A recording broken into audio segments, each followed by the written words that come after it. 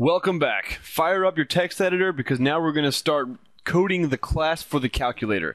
Now this is going to be one of a couple different classes that are going to be involved here. This is the one that we're going to code ourselves and it's going to be uh, it's going to be one of it's going to be the main driver behind the calculator. So if we get back into our Linux calculator, we can right click, I'm sorry, get, get in the Linux calculator directory, right click and let's create another text file. This one we're going to call it calculator.cpp. And then select OK. So now we have another blank C, C++ file. Right click on main.cpp, open it with kwrite. And then when you have that open, minimize it, right click on calculator.cpp, open it with kwrite. Excellent. So, press F11 It'll show your lines. I'm going to do the same thing here, F11. Below, using namespace std, type in the following, include, and then in between quotation marks, marks in between quotation marks, calculator.cpp, and save it. Open up our trusty, our trusty console. You guys should know how to do this already. Traverse into the project folder, cd space desktop. And then we can do from here cd space Linux calculator. And then we could run a dir, I'm sorry, lowercase. Cool. So now we have all this stuff. So now that the main program is set to include the calculator, make sure that we have that saved. G++ space main.cpp just to test it. I'm always a huge advocate of compiling on a regular basis just to see how your code is coming out. Okay, so now inside calculator.cpp, let's declare a class. Class, and we're going to call it capital C A L C, calc, and then give us some space here. All right, our public data is going first is going to be the constructor. And then after that, we're going to have a number. This is going to be the number that is the accumulator. It's going to constantly hold the value of what the calculator equals. And that's going to make sense later as we start using it. Next, we're going to initialize a function operation, and this is going to handle a string data, data type. This is going to be the function that the main program will interact with all the private functions with. It's going to use this in order to access all the other private functions. And we're going to int the spot of the stack.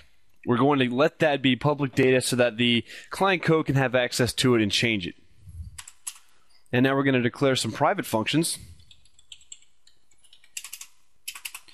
First one that we're going to do is we're going to write our own converter.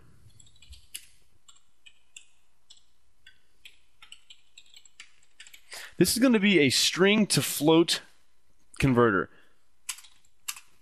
Converts from string to float.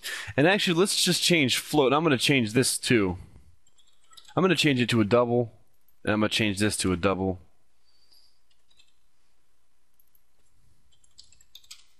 Okay. The reason that we're going to need this function is because the data is going to be coming in from the client code as a string, and then we're going to convert it from a string into a float, into a double actually, so we can actually perform mathematical operations on it. The next one I'm going to declare is the actual stack itself. And this is going to be an array of size 3. This is going to be the, the stack that's going to hold all of the data. And then once the stack is full, it will then so you know pop so to speak and then perform the arithmetic storing the answer in the in the very first element in this in the um, in the array. And now we're just going to have the mathematical operations. Each one of them is broken up into different functions. Void. They're all going to be void functions so they're not going to be returning anything. And I'm just going to copy this. So it's going to be add subtract multiply divide. And then I'm going to also have square root equal clear so it's going to be subtract, multiply, divide sqrt for square root equal and clear, which will actually which will clear the calculator. And I'm also also going to declare two other functions that is that's going to work hand in hand with the square root function. Going to be of double type. I'm going to copy this. First one's going to be square root. And this is going to take a double data type. And the second one is going to be an absolute value, and this is also going to take a double data type. So this is what our class functions are set up to look like. We don't have any comments here, but uh, we'll just go ahead and write some comments, just so we know what each one of these is. So this is going to be the answer in the calculator. This function will work with client code. I apologize if I make spelling errors. This is going to hold the spot um, in the stack. So it's going to be the pointer. This is the actual stack. Stack that holds data.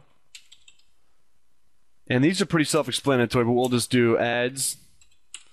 Actually, we don't even need to comment those. We know what that does. Adds, subtracts, divides, multiplies, square root, all that happy stuff. So this is what our class is set to look like. Make sure that we have an extra line at the end.